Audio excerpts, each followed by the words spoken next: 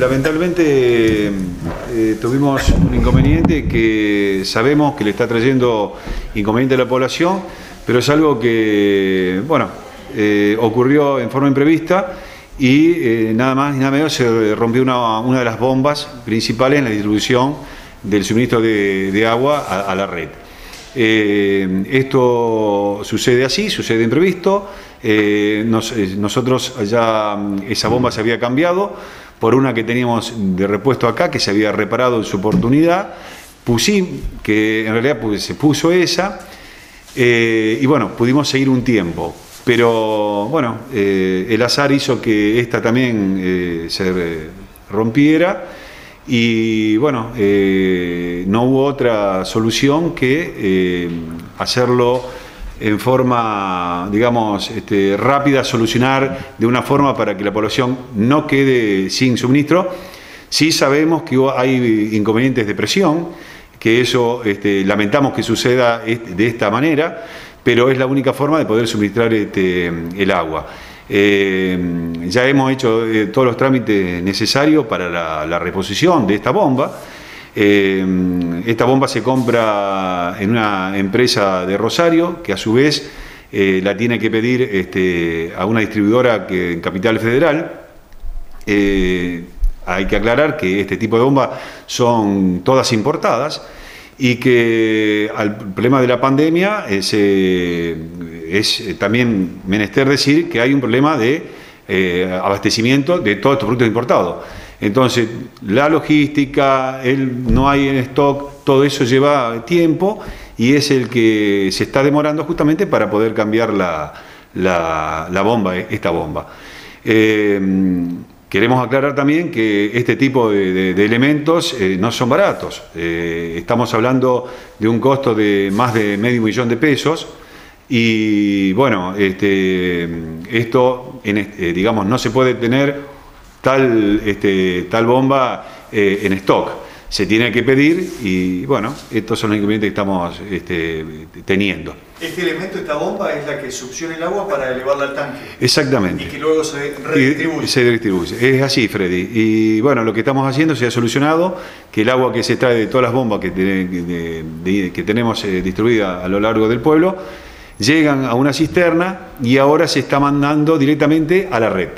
Por eso no está dando la presión que se necesita. Sabemos, somos conocedores de los inconvenientes que está, que está provocando, pero no hay otra solución momentánea.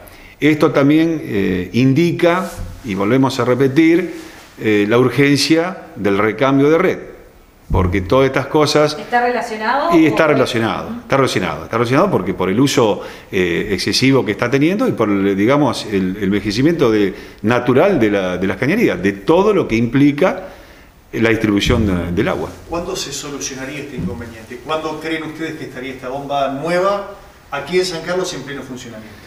Nosotros estimamos que, mm, porque esto es todo de palabra que te, que te dicen, mira, llega tal día, no llega tal día, eh, nosotros eh, encarecidamente le pedimos al, distribuidor que, sepa la urgencia del caso y que sepa comprender y que en este sentido tenga un, sentido común en cuanto a la necesidad de que está, la, ciudad está padeciendo.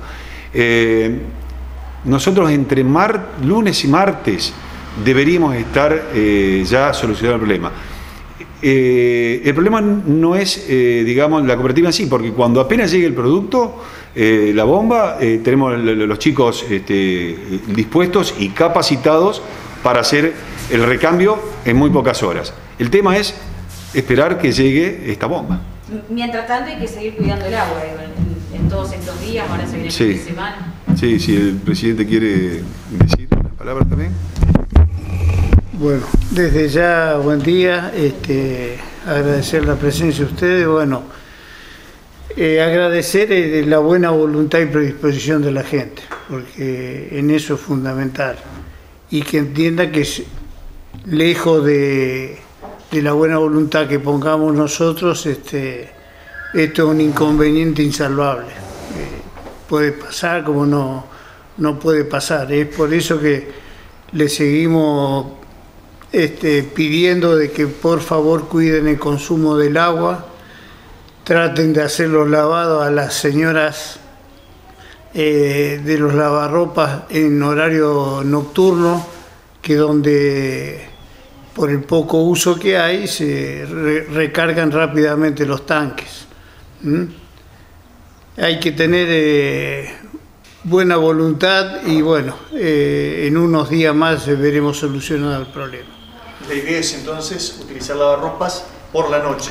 Por la noche. Digo lavarropas porque es lo de mayor consumo de agua. Eh, exactamente. Y, tratar de no hacer varias, varios lavados en el día, sino tratar de programarlo en, los días e ir viendo la manera de que no se consuma tanta agua.